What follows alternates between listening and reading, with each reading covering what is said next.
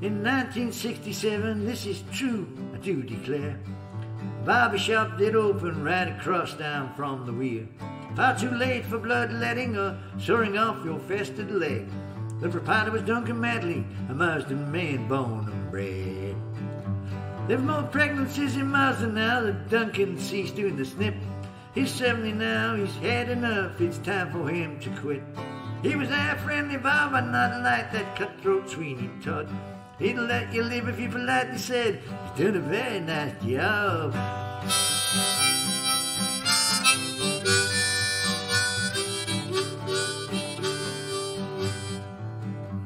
Waiting your turn to take the chair, twiddling your thumb.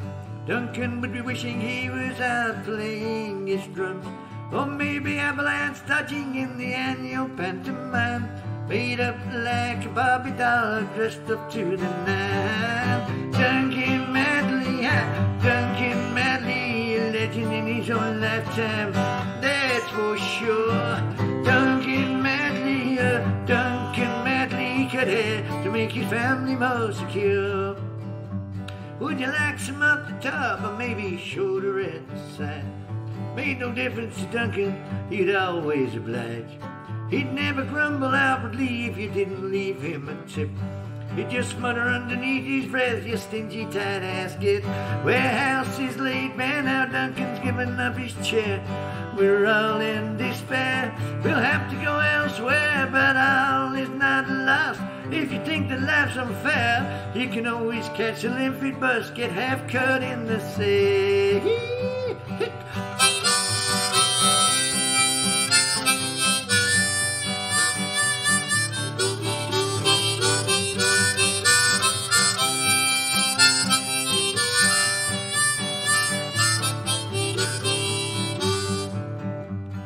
Tale was to be told, he would cut slow as a snail, recoil into his shell where inertia would prevail. There was a pound off for pensioners, a bargain to be had. Now it's cold time on hair out there, it's very, very sad. Ah, Duncan Matley, who? Duncan Matley, a legend in his own lifetime, that's for sure. He could hair, keep the wolves from the door. He could part it on the left, he could part it on the right. He was ambidextrous, he could multitask, he was just that rare type. Now his comb and scissors hang redundant upon his wall. Like the Cutty Sark, this clipper won't go to work anymore. He used to cut my toupee when it grew and hid the light. If I posted it on Monday, it'd be back by Wednesday night. He'd always go that extra mile, he'd always treat you fair.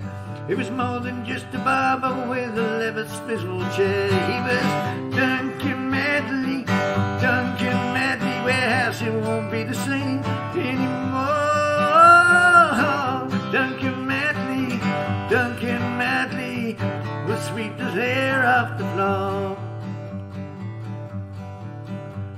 You'd better get there soon, closing day's the end of May. If you go there after that, you'll be politely told to go away. You can bet your life someone will turn up on the 1st of June. Maybe one last chance for Duncan to shove the handle of his broom. If the lady you're coming down Peel Street over the bridge, turn to the right. Well, hang in the door a sign that says, I've taken flight. I'm closed down forever now if people to me say, Am I opening up again? No, sir, no fucking way. Cause I'm Duncan, Duncan, Duncan Matley, a legend in his own lifetime. That's for sure.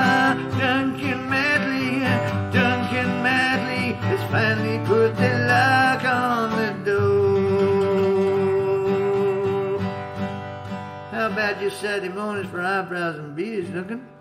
Is it true you're opening a waxing parlor in the cellar?